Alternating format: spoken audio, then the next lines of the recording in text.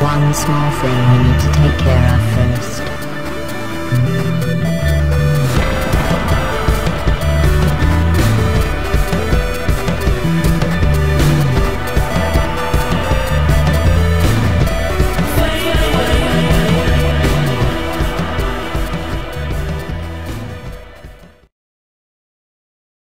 Hey everybody, Bullvice89 here, and yesterday was the Electronic Entertainment Expo E3. Um, it's basically an expo where uh, the biggest game companies come together and they showcase what's going to go on in the next year of gaming. Um, of course, in this video, I'm going to go over Nintendo, Sony, and Microsoft. Um, I am leaving out um, EA and Ubisoft. I can do a video on that if uh, if you all want me to. Leave me comments, but um, these are the big three and I stuck to five games per um, company. And of course, there were ton more games. I just thought these were the coolest ones and the most popular ones. But I will definitely add links in the description down below to the full press conferences if you guys want to watch them. They're pretty, uh, pretty cool. And um, the other games that are announced are awesome. Um, it's going to be a good year to be a gamer. And uh, let's go ahead and start off with Nintendo. Uh, the first game was that caught my eye was The Legend of Zelda. It has uh, cell shading and it's an open world game and it looks like it's a massive game. The second one is Pokemon Omega Red and Alpha Sil- Sapphire, excuse me, um, a remake of Ruby and Sapphire with the new graphics. Um, there was a brief little trailer of um, the Nintendo president playing Star Fox on his on a TV. It's blurry um, but he's using the gamepad to steer the ship, so a new Star Fox would be cool. Um, Mario Party 10 is coming out. It looks like it looks pretty cool. Also, you can use the gamepad to be Bowser and kind of wreak havoc on the other players. And uh, Mario Maker is also coming to the Wii U. Uh, it lets you basically make your own Nintendo um, Super Mario levels and then play them in a Super Mario fashion. So cool. Uh, next, I'm going to be going into Sony. Uh, they have Uncharted 4, A Thief's End, which looks pretty cool. Uh, the Uncharted series is really, really popular.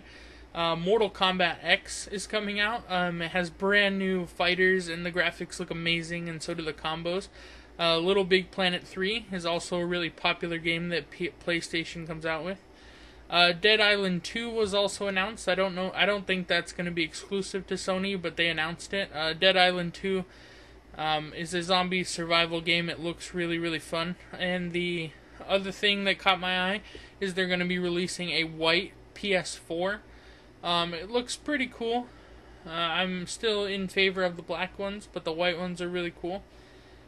Um, so that was it for Sony. Uh, of course, there was a lot more stuff, but I'm not into Sony stuff as much. So uh, if you want to watch the press conference, it's down below. Uh, next is Microsoft, which is my domain.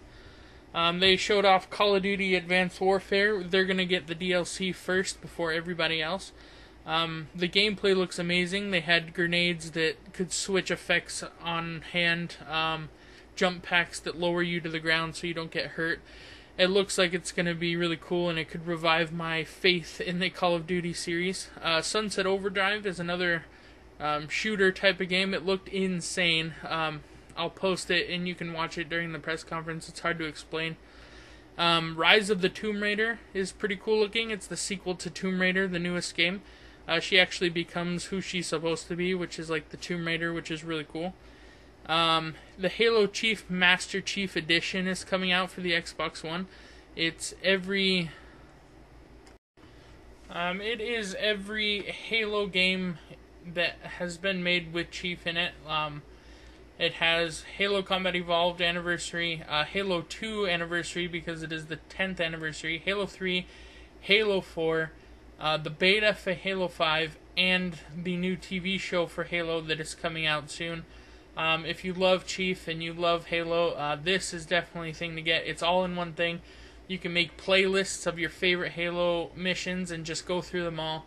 Uh, if you love Chief, I would buy it. Um, I love Chief, and if I had an Xbox One, I would definitely purchase it. Next, Next, I actually saved the uh, very best for last, in my opinion. Assassin's Creed is one of my favorite games, and they showed off Assassin's Creed Unity, which um, the graphics look absolutely amazing. It takes place in France during the French Revolution, so there's chaos everywhere. Um, it shows a guy sneaking into um, a mansion to assassinate somebody, but then other players join, saying that it has a co op uh, campaign. I'm so excited for it. It looks so amazing. Um, I will definitely post it down below with the Microsoft press conference. I'm so excited for it.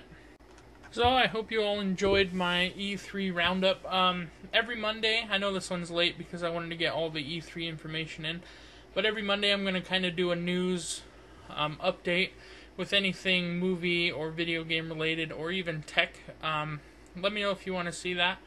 Um, I'll post the next episode next Monday, and I hope you all enjoy it. Um, like and subscribe to the channel. Another note that I saw was uh, Skylanders um, trap team. Um, you basically trap your enemies and you can use their powers against them. I know that I have a nephew out there who loves those games, so that should be pretty cool for him when it comes out. Um, like and subscribe to the channel, and I hope you all enjoyed this E3 rundown. And uh, make sure to check out the press conferences down below in the links. And uh, have a great day. See you later.